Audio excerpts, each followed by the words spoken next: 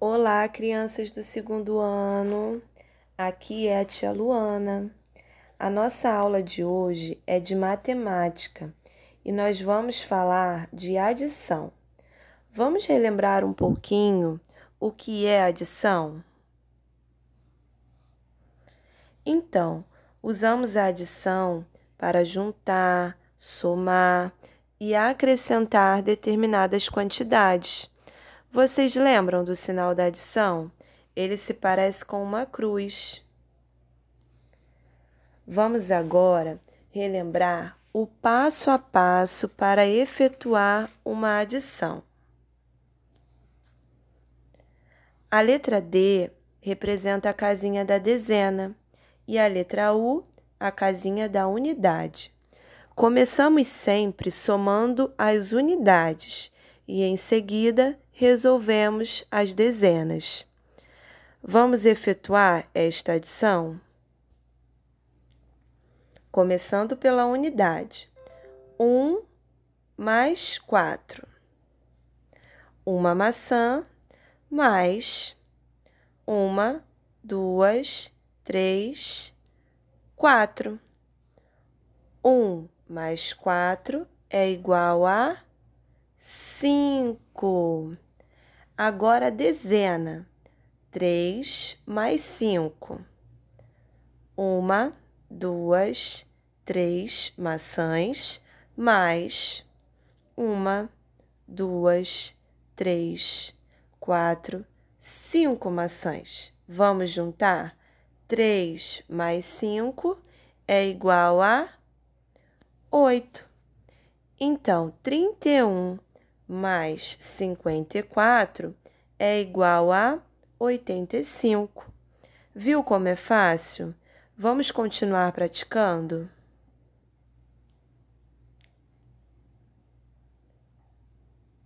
Vamos lá. 24 mais 31. Como a tia Luana disse, começando sempre pela unidade. 4 mais 1, 5. Agora a dezena.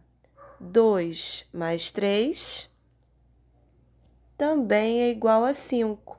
Então, 24 mais 31 é igual a 55. Próxima. 25 mais 12, começando pela unidade. 5 mais 2 é igual a 7. Agora a dezena. 2 mais 1 igual a 3. Então, 25 mais 12 é igual a 37. A última.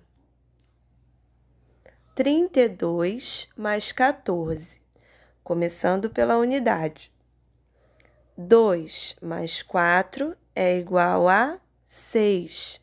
Agora a dezena. 3 mais 1 é igual a 4. Então, 32 mais 14 é igual a 46. Agora, nós vamos resolver uma situação-problema. Prestem atenção. Para fazer alguns cartazes, Davi e Sofia precisarão de canetinhas coloridas. Davi tem 15 canetinhas coloridas, Sofia tem 12. Quantas canetinhas coloridas os dois possuem juntos? Precisamos juntar a quantidade de canetinhas de Davi com a quantidade de canetinhas de Sofia. Davi tem 15, Sofia tem 12. Vamos fazer esse cálculo? 15 mais 12, começando pela unidade. 5 mais 2, 7. Agora a dezena. 1 mais 1 é igual a 2. Então, 15 canetinhas mais 12 canetinhas é igual a 27 canetinhas. Vamos ler novamente a pergunta? Quantas canetinhas coloridas os dois possuem juntos? Já temos a resposta.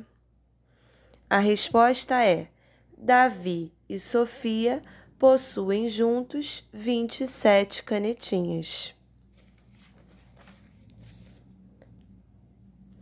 Agora chegou a vez de vocês. Pegue seu caderno ou uma folha, copie e faça as continhas que aparecem aqui. Depois das continhas, o desafio é resolver uma situação-problema. Tenho certeza que você vai conseguir. Estamos aguardando a resposta de vocês. Beijinhos da tia Luana e da tia Alessandra. Até a próxima!